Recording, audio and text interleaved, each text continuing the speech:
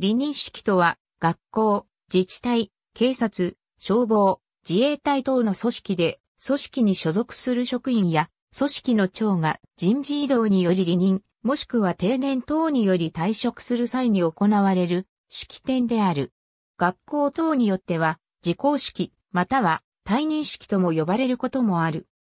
主に自治体、観光庁、警察、消防、自衛隊等の組織において所属していた職員等が定期移動及び組織の長の離任において行われる行事であり、式典に関しては所属している人員のうち業務に支障のない者が選抜されて式典に参加する。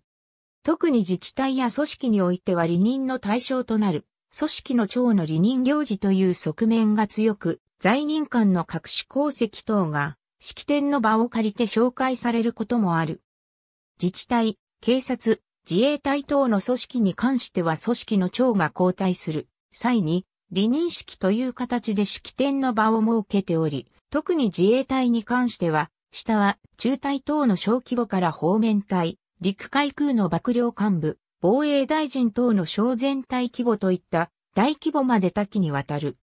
以下は自衛隊による進行の例で、当初は一部の例を除いて、上級組織の名がもしくは、次級者から離任者の紹介が行われる。これを離任庁紹介行事とされており、また、離任式においては、当該の離任者が執行者となり、式典を執行する。部隊を指揮する部隊指揮官は、当該部隊の副隊長等の次級者もしくは不在。する場合は再選任者が指揮官となり指揮を行う。離任庁紹介行事長登壇、長に敬礼離任部隊長紹介長に敬礼長、退場部隊長離任式執行者登壇、執行者に敬礼順越執行者訓示執行者に敬礼関越更新日本の小学校、中学校、高等学校などの学校では次のうちのいずれかに行われる。一般に私立学校では修了式と同時に行われることが多く、公立学校では修了式以後の春休みに実施されることが多い。児童生徒にとって春休み期間中は出席するべき日ではないので、春休み中に実施する離任式に登校しなくても欠席扱いにはならないが、大抵卒業生以外は出席するように指導されている。